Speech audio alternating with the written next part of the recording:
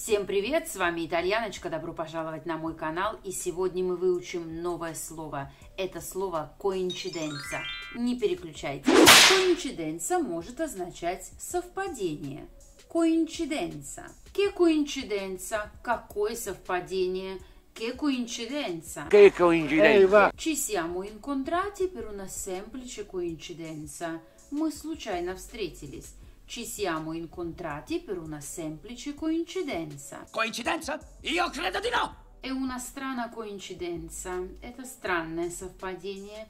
È una strana coincidenza. Совпадение, не думаю. Однако коинциденция – это не только совпадение, это еще и пересадка, например, с одного поезда на другой. Prendere la coincidenza – пересесть. Perdere la coincidenza – пропустить пересадку, опоздать на свой поезд.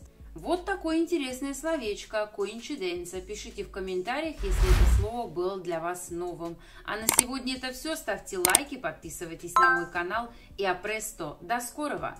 Ваша итальяночка.